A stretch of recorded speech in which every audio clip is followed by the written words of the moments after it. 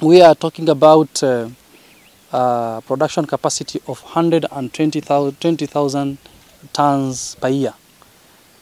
We, the plans are underway to uh, increase that capacity to 350,000 uh, tons per year with more farmers and even more counties maybe uh, involved uh, in this program.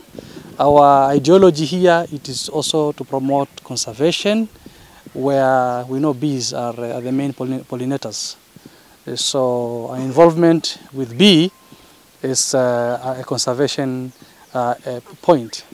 Then the other thing is, uh, as KVDA, we are also uh, involved in tree planting activities where we have set aside two million seedlings for this for the next for this financial year, so that you can have our farmers engage in tree planting that contributes uh, to the national agenda that is uh, uh, 15 billion trees per year by His Excellency the President.